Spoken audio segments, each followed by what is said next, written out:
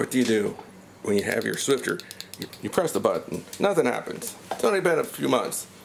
Well, I got a few ideas you can check. We're gonna start with the battery. Check this out. I wrote the date when we got this. This is two and a half months old. It's dead.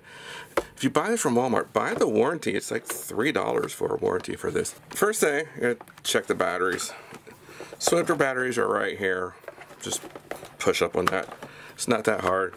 If you have trouble, you just get like a tool or something and push up. It'll come out really easy. Old models have four batteries, new models have two batteries. I know these batteries are good because this is only like two months old. Get out your battery tester. 1.6 volts. Brand spanking new pretty much. 1.6 volts. These are good. Batteries are good. So why doesn't the pump work? Check these tabs down here. Sometimes these tabs can be bent up too far and then just get a, a pin or a screwdriver and just kind of kind of stretch them back out a little bit. This this might fix your problem too. Try this before you take this apart. We gotta open this up. These motors are just garbage.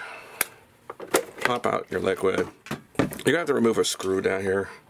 The old ones, this has, um, the new ones have a screw here. They all have a screw here. The new ones have two screws up here you got to remove also. They are hidden right down here.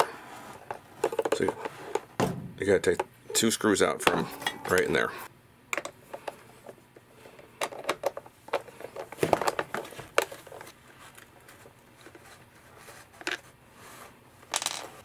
And then here are the two end screws. They're pretty small. If I can show you where those where those go. Those screws are right here and right right here. So the two corners, just take those out. This part's a little tricky. Just get like a pry tool or spatula here. I'm gonna lift this up over where the screw was. And you wanna push this back, and you wanna pull. So here we go. I got my pry tool in here. Push that down. Pull back. Popped off. It's actually a little bit harder than I make it look. And the problem is the motor here. Let's see what happens if we hit the motor. Hit that a few times.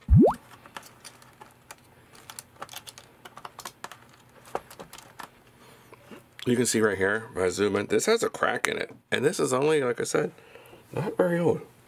Alright, so I hit the motor a few times.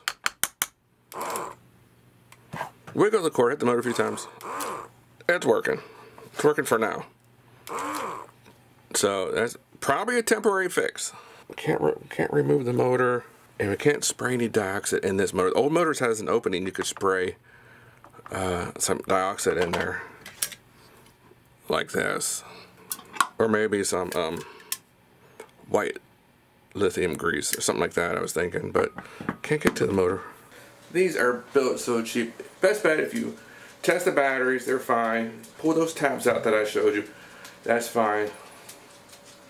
You want to open it, tap the motor. It might work, might not. You can remove one or three screws depending on the model you have, newer or older.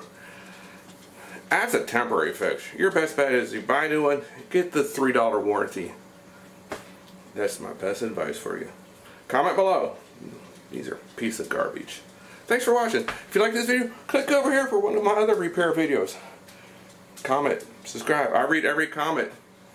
I'll reply to you. Thanks for watching.